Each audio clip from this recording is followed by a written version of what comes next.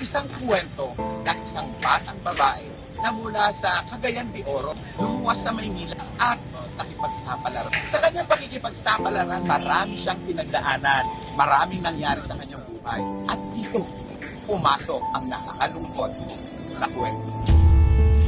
Kaya galit na galit ang mga kamag-anak sa akin doon sa Cagayan de Oro na ganyan ang trabaho ko. Inahihiya nila ako ba na ganyan ang trabaho ko. Lord, magiging ganito. Na lang palagi ang buhay. Patawarin niyo ako na bumalik ako sa ganitong trabaho. Kung kaya mong mabuhay sa tundo, kaya mo ring mabuhay saan man sa mundo. Morley Alinio. Ito ang Tundo. Habang ako ay naglalakad sa Santa Cruz, sa may abinida, may nakita ko isang babae doon sa may kanto. Nakatingin siya sa akin at napatingin din ako sa kanya. Nginitian niya ako, ngumiti rin ako sa kanya at doon nilapitan ko siya. Nalaman ko na siya si Jopay, babaeng bayaran, babaeng natitikman, pero may pangarap sa buhay. At sa kanyang pagsisisi, nais niyang babago ang takbo ng kanyang buhay. Siya si Jopay, ang babaeng bayaran.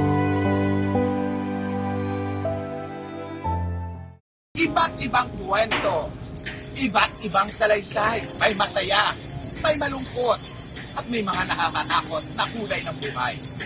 Pero sa pagkakataong ito, isang kwento ng isang batang babae na mula sa Cagayan de Oro, lumuwas sa Maynila at nakipagsapalaran. Sa kanyang pakikipagsapalaran, marami siyang pinagdaanan, maraming nangyari sa kanyang buhay. Dito, pumasok, nakalungkot, na kwento kwento ni Jopay na sana ay magkaroon ng aral at magbigay magandang ehemplo sa marami nating kabataan. Tandaan po natin, ang sipag hindi bumubukol. Galing, iyan nawawala. Pero, ang kasipagan ang susi ng ating kabuhayan. Kabuhayan na nagbibigay sa atin ng katanyagan, katahimikan, at magandang pamumuhay. Ako po si Morley Alinyo na nagsi-Alinyo na nagsasabing kapag nabuhay ka sa tundo, mabubuhay ka sa amang panig ng mundo. Hinuhuli kayo dito ha, yung mga dito. Ano hindi ka ba nahuhuli? Sanay na din ako sa bagansa, sir. Dati pa yan, sa sir pa ako. Simula nang sir ako, sanay na ako sa bagansa. Dinadala ka sa Kasipigil. Sanay na din ako mahuli. Kaya hindi na rin ako matatakot. Sanay na ba? Sanay. Ang mission nila? Basta kayo, hindi ako magnakaw, hindi ako mangloko. Talaga ako record na magnakaw ng customer. Pagansya ka Bagansa lang. Talaga. Ka na ng mga pulis. Sa Cagayan de Oro, kilalang kilala ako. Buti hindi ka ginagalaw ng mga pulis. Hindi naman, respetado naman sila dito. Paano lumalapit sa inyo yung mga customer dito? Paano kayo lalapitan? Ay sir, gusto mo ng babae? Yun lang, pabulong lang. Tapos dadaan na naman. Ay sir, gusto mo ng babae? Ikaw na yon. O, tapos kung magustuhan nila ako, amahin ako. Marami ba kayo dito? Marami naman kami dito pag linggo. Magkakakilala kayo. Kakilala lang sa mukha, pero yung iba, may close kami, nakikita kami, hi, hello, nakakagalong lang. Hindi talaga kami sa anak ng pera dito. May close din ako dito, pinangalan ng Tintin, pero nag-aasawa na kasi. Nakailang asawa ka na? Walo. Sa walong asawa mo yun, hindi nagtagumpay lahat. Hindi, Bilyar lang ako. Bilyar lang ako. Sawa na rin akong umiyak kasi sanay na ako eh, matigas ng puso ko. Ano ang nararamdaman mo ngayon sa nangyari sa buhay mo na failure ka sa boyfriend, sa asawa? Bakit? Mamanalangin man ako sa Panginoon. Babalik at babalik pa rin ako dito. Asawa ko, pag maglibin ako, tapos mawalan siya ng trabaho, babalik pa rin ako dito. Kasi wala na siyang trabaho eh. Tapos magtatagal, babalik pa rin sa original niyang asawa. Iniwan ako kasi malas daw ako sa buhay. Malas daw ako sa trabaho niya. So anong ginagawa mo? Pag iniiwan ka, balik agad dito. Pag iniiwan ako, babalik pa rin ako dito. Linya ko na talaga to. Ganito na talaga ang buhay ko. Pinangarap mo ba na maging ganito ang buhay mo, Jopay? Hindi ah. Kasi mulang na nakauwi ako ng Cagayan de Oro, balik-balik ako sa Maynila. At ito ang ginagawa mo. Wala na kasi akong choice. Papasok man ako ng katulong, bilyar pa rin. Bakit? Silusan ng asawa. Oh, tapos hindi ako masyadong magaling magtrabaho sa bahay. Ang nalalaman ko lang, serve ng beer, yung mga nalidistring, yun lang nalaman ko na trabaho. Kang hotel ka dinadala rito sa Avenida. Anas, minsan dyan, minsan doon sa minsan doon sa Halinas, minsan sa Nice. Okay sa'yo kahit na sinong lalaki, kahit matanda, bata, may sakit or whatsoever. Kahit na ano, basta may pera, may babayad. Basta may uwi lang ako sa bahay. Jopay, di ka ba natatakot na magkaroon ka ng sakit? Hindi na ako natatakot kasi takip sa patalim na ako eh. Ano talaga ako, magkundong. Pero minsan mga customer, hindi papayag magkundong eh. O paano kung ayaw nila mag-condom, anong gagawin mo doon? Alam mo, ayaw nila mag Papayag na lang kasi nasa loob na kami. Tapos sayang naman yung pera, nandyan na. Baka maano, pa. Paglabas namin, wala akong pera. Jopay, ba't ayaw mo magtrabaho ka? Nagtitinda, ba't di mo subukang magtinda? Na-scam na nga ako. O anong scam? Yung bang mag-apply ako ng trabaho, tapos sabi, babalik ka lang, ini-interview ako, babalik ka lang, tawagan ka lang namin yun lang. Habang kami ay nag-uusap ni Jopay, napansin ko yung mga taong nakatingin sa amin. May mga kaibigan din siyang babae doon na senyas ng senyas na tila galit sa kanya dahil sa ginagawang pagpapa-interview sa akin. Kaya naisip ko, dalhin si Jopay sa bagong tulay sa Binondo at doon itinuloy namin ang aming kwentuhan. Ibang kulay ang buhay ng tao. May malungkot, may masaya, may masalimuot, at meron ding napaka lungkot. Kahit anong gawin pagsisikap, walang nangyayari. Totoo nga ba ang kwentong ito? Well, sino nga ba si Jopay? Ano nga ba ang katotohanan kay Jopay? Ito si Jopay. Dati ko siyang nakikita lang sa binila pag naglalakad ako. Nagkagulatan kami nang muli kami magkita. At ngayon this time, i-share niya sa atin ang tunay na kwento ng kanyang buhay. Thank you so much sa pagbibigay sa akin ng karapatan, pagbibigay mo sa akin ng tiwala sa kwento ng buhay. Thank you so much. Yes, napakasakit na katotohanan na sa buhay ng isang tao, kailangan ang sipag at tiyaga upang sa ganon kita mapunta sa masamang lugar o sa masamang gawain. Isa sa mga magandang ehemplo ng kwento natin ngayon ay ito si Jopay. Si Jopay na mula sa Cagayan de Oro na nagtrabaho dito sa Maynila. Alamin natin, bukan natin, ano nga ba ang kwento ni Jopay? O si Morley Alinyo na nagsasabi, kapag nabuhay ka sa tundo, mabubuhay ka sa amang panig ng mundo.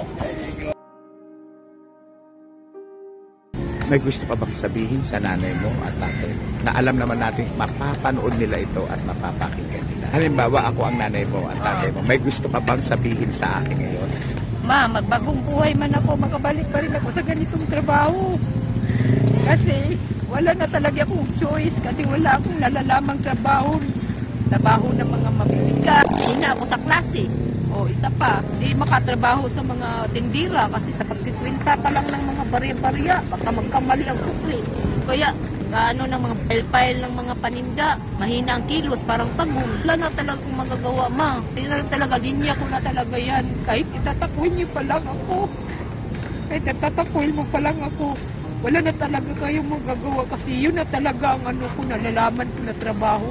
Dati pa yan, tamad na talaga ako sa trabaho. Magsipag nga ako, pero ewan ko bakit ganyan. Ano? Lati sa layaw kasi. Ano ba trabaho ng nanay mo? Ano, nagtatahi lang siya ng damit dati, yung mga damit. Sa probinsya? Sa Cebu yung dati. Yung O ngayon, nasa- nasaan ang nanay mo, tatay Nasa? Cagayan de Oro. O, ah, ano doon sila? Wala ka bang balak bumalik sa Cagayan de Oro?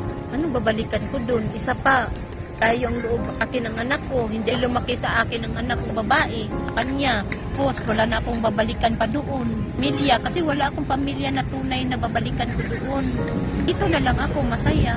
Payo ka ba doon sa mga kabataan o mga bagong babae na mga punta sa ganyang kalagayan? Ako, gagamitin nila ang utak nila para hindi buhay na ganito. Wala man sila, pero wala nang mag-ipon. Mag, mag at saka, tapos kung magduduga ka, wala, wala kang maipon. Kung ganyan man lang ang trabaho nyo, mas bata pa kayo, mag-ipon kayo na mag-ipon para may kinabukasan kayo. Mag-aral ba kayo? Magnegosyo ba kayo ng mga paninda-tinda? Tawag nyo kung gayahin na 44 na, ganito pa rin, wala pa rin napala. Tapos sa inyo yung lalaki na mamahal ng totoo sa inyo. Yun lang. Wala na po ibang mapapayo pa. Ganyang trabaho eh. Pilyo naman talaga. Walang magmamahal ng totoo eh. Dito sa trabaho mo, magaan. Kung magaan ang trabaho ko kasi nang hindi mahirap. Pa din dito. Ah, Lahat ng mga na naranasan ko, naranasan ko na. oh, lahat. Oo, yung mga na naranasan ko man sa lahat, naranasan ko na yan. Parang hindi na ako magtatanggit yan eh, kasi trabaho lang na sa Nan, minsan ba dumarating sa punto mong nandidiri ka sa sarili mo? Hindi ko Dumarating na ka ba lang inisip yan kasi trabaho eh. Pero may ano na po, Lord, bakit ganito ang trabaho ko? Bakit ba ganito ako napadpad? Bakit ganito ang linya ng buhay ko? Bakit? Ano ba pinangarap mo noon? Nung bata ka, ano ang gusto mong maging? Nurse. Gusto mong maging nurse. Oo. Tapos abogada. Hindi natupad ang mga pangarap. Natupad kasi talaga priority ko ang pag-aaral kasi mahina ako sa klase. Hindi ko matalino sa klase. Ano moral lessons sa nangyari sa'yo? Moral lessons. Hindi na talaga ako magbibisyo ng siya mga droga kasi ayoko sa bilangguan sa pa. Walang kamag-anak na dadalaw sa'yo. Tapos meron nga, yung live-in mo nga, dadalawin ka pero ang buwan, hindi na.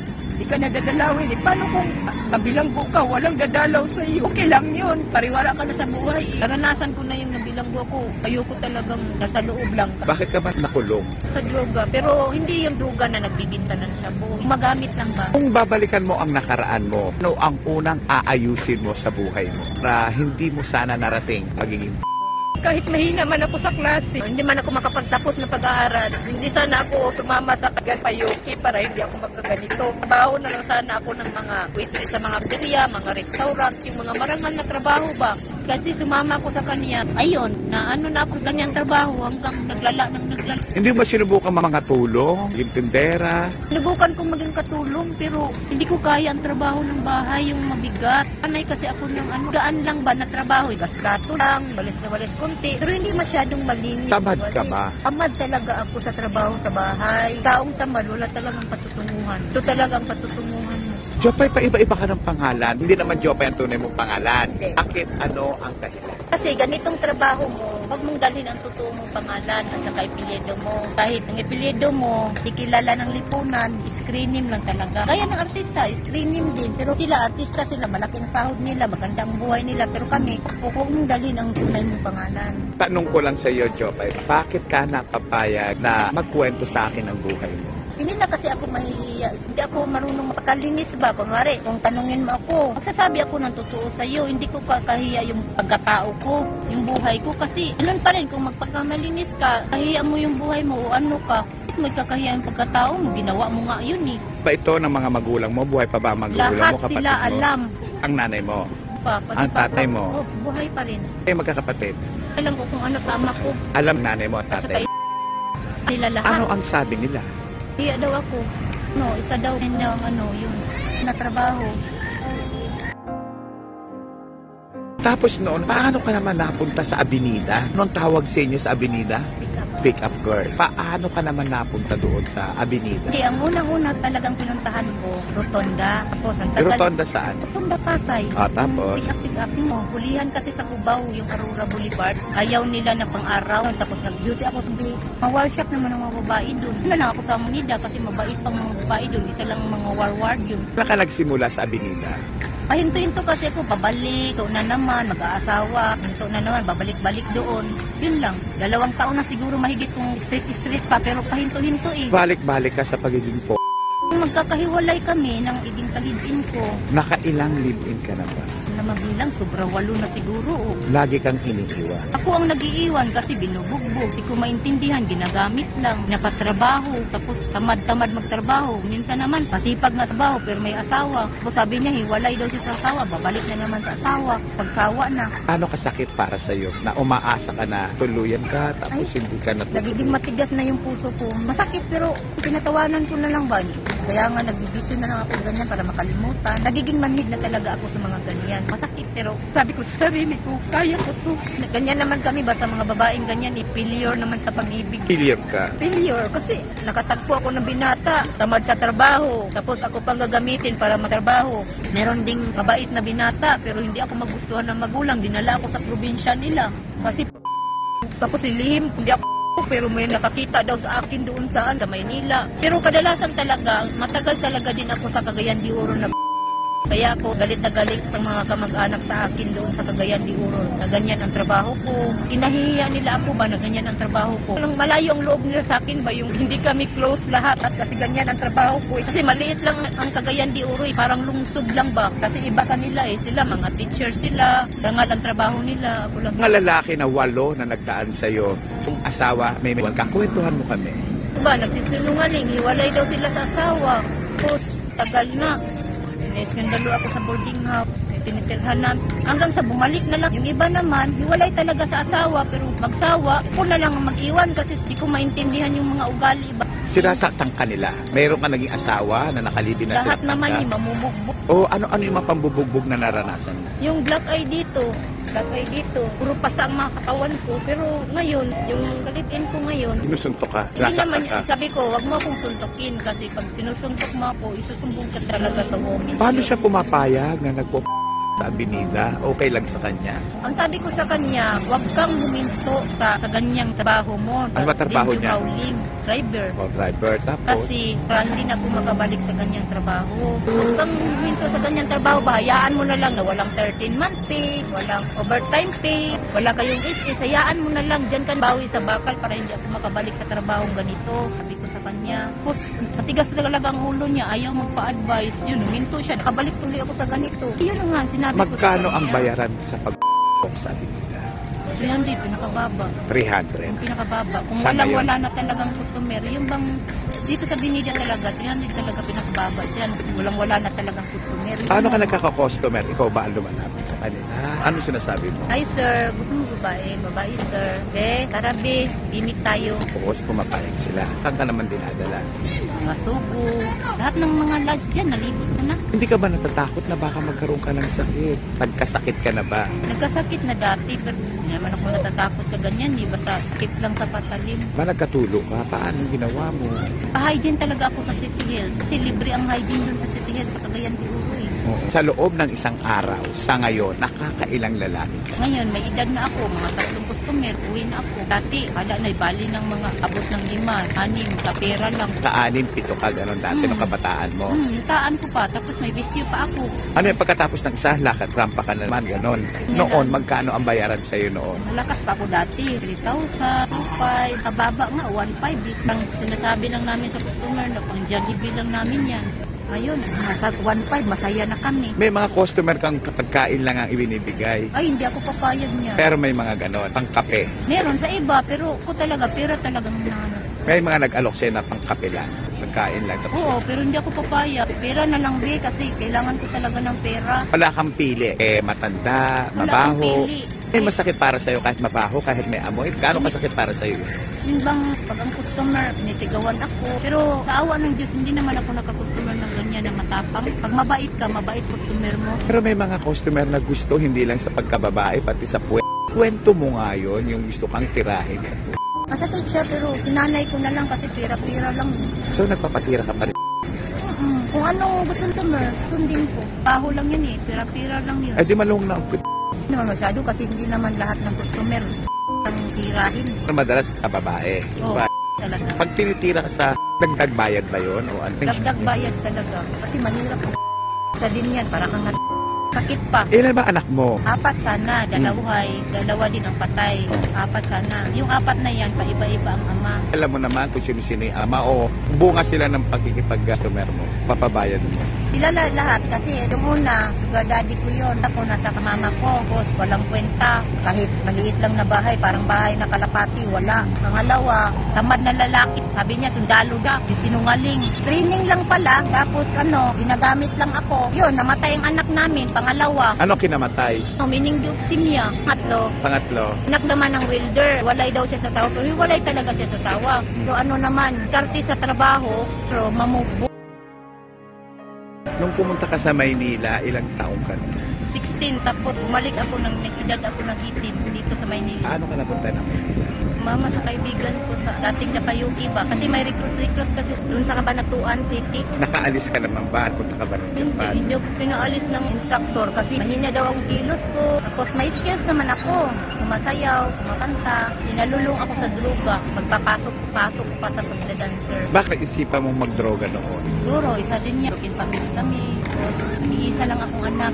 Parang binawaliwala na lang ako sa mama ko. Binawaliwala na din ako sa papa ko. Siguro, inanon na lang ako kasi matigas ang ulo ko eh. O tapos nung dumating ka sa Manila, ilang ka unang pumasok ng trabaho? 16 years old ako, sumama ako sa kaibigan kong Japayuki. Hindi daw ako pwede mag-Japan kasi bata pa. Siya, natuloy siya eh. Ako hindi. Nilihim ko lang yun. Simula nang nagkahiwala yung mama at papa ko, wala talaga akong nalamang trabaho na ano eh. Mabilis kumilos. Hindi ako pwede maging katulong kasi mahina ako sa bahay. Tapos no, nung nag-agogo dancer ka, saang club ka nag-agogo dancer? Unang-una ko talaga nagsayaw ako. Doon ako sa Cebu, sa Bikini Bar. Tapos, pasok na naman ako ng GRO. Tapos, nagbalik na naman ako pagsayaw kasi konti lang ang sahod sa GRO. Lalaki pa yung dancer sa Oo. ko. Pumunta ako ng Maynila kasi nantahan ko yung kaibigan ko dito na narinig ko na nakabalik na daw. Sabi ng kaibigan ko doon sa Cebu, kabalik na daw siya dito sa Maynila. Pumunta ako, siyempre mabilis ang pera eh. Magiging agogo doon sa Cebu. Pumunta ako dito sa Maynila. At sa Maynila, saan kang mga club napunta rito? Wild River, Pasay. Wild River. After Wild River, saan ka pa nag-agogo dancer ka na doon? Sayo ka na doon. Sayaw na. Ano yung sayo mo hubot-hubad? Butubad talaga. Yung mula talaga kang nakikita-kitang sitro. Ba't ka napapayag magsayaw ng hubot-hubad? Kasi nag-edad ako ng 18, gumagamit na kasi ako ng parang hindi na ako mahihiya ba. Hindi ko itatago, yun hindi ako nang mamagnis. Gumagamit talaga ako ng bisyo dati. Pinagsisihan mo yan. Oo, pinagsisihan ko yan. Dahil hindi na nga ako gumagamit ngayon eh. Sa ilang taon na. Katapos doon sa Pasay, anong mga club ka pa napunta na nagsayaw ka ng hubot-hubad ng leket? Ito ay baklaran. Huhubad ka rin doon. Mm-mm, naghubad ako doon. Nakita mo talaga lahat. Oo, hubad talaga. Kasi yung anak dati eh. Ano binabayad sa'yo doon? 100 ang gagamin, tapos iba yung this drink, 50 piso sa amin, kasi 185, 90 sa amin, Kala- hati, bali 90, 90, kahati sa amin yung mission, tapos pa naman yung out, 1,000, Ah, doon ka malakas nung ka kumikita. mm Yung nagpapa-out Oo. ka. Bar fine. fine by fine, pero walang maiipon kasi nagbibisyo. May mga drugs na ginamit dito. Okay. Kukukin kasi ako kasi may yung mga customer ko ng Amerikano, negro, naggamit ng bisyo na ganyan. Sino nagturo sa'yo na magdroga? Boyfriend ko dati, taga-tundo. Yun ang sinasamahan ko dati dito sa Maynila. Mula nang nag-umpisa ako pagsasayaw dito.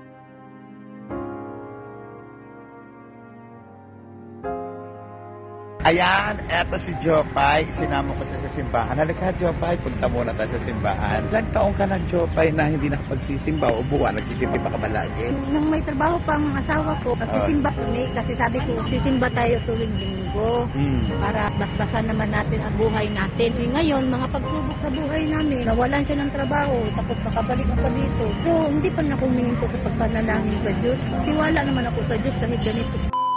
So, kailan yung huling pagsisimba mo? Wala lang September, uh, sinasa sa trabaho, hindi na kami nagsimba-simba kasi ano niya magsimba. Simba daw, marami daw mga pagsubok. Pasok ka sa loob ng Nawala na siya ng trabaho.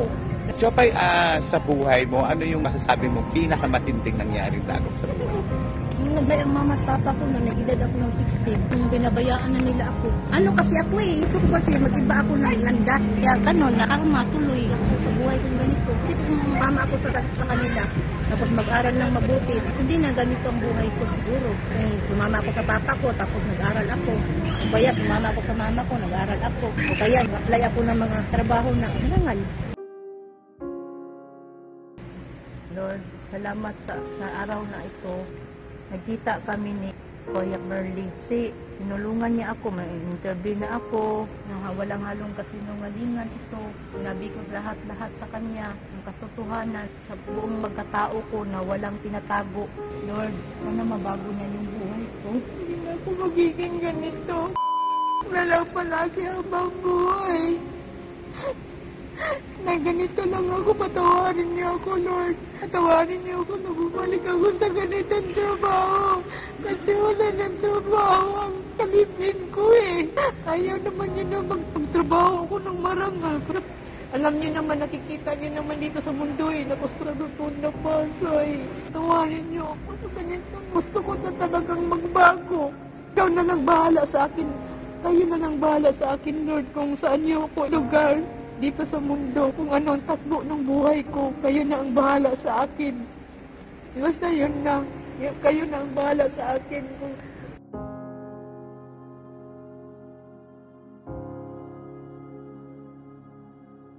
May luha, may kalungkutan at punong-puno ng ah, pagsusumamo. Ang kwento ng buhay ni Jopay. Jopay na mula sa Pian de Oro, napunta ng Maynila, naging agogo dancer, nude dancer, tuto magdroga, hanggang sa punta sa Santa Cruz, maging ito, bayaran. Bago kami maghiwalay ni Jopay, meron siyang isang request. Sabi niya, sana daw ay makakita siya ng isang trabaho na disente. Trabaho masasabing kay niya ng kanyang pamilya, kaibigan at anak. Akin pong vlog ngayon ay nais ko lamang po sanang usap po sa lahat ng mga manunood. Hindi po bang mag-request naman po meron kayong maging trabaho ni Jopay. Tulungan naman po natin siya bagong buhay. Madalas ko pong sinasabi, tayo ng kabutihan sa ating kapwa. Ang pera ang iniipon, ni magagarang alahas, ay bil at maging sasakyan. Ipon din po tayo kahit minsan ng kabutihan. Ano po ay haplusin natin, tulungan natin si Jopay, kanyang pangarap na magkaroon ng disenteng buhay. Ako po si Morley Alinyo na nagsasabi kapag nabuhay ka sa tundo, mabubuhay ka sa anong papanig ng mundo! Ano't anuman, naroon ang pagsisisi ni Jopay. Nais niyang balikan ang kanyang kabataan at gusto niyang ayusin ang kanyang mga pagkakamali. Kung kaya mong mabuhay sa tundo, kaya mo ring mabuhay saan man sa mundo. Morley Alinio. Ito ang Tundo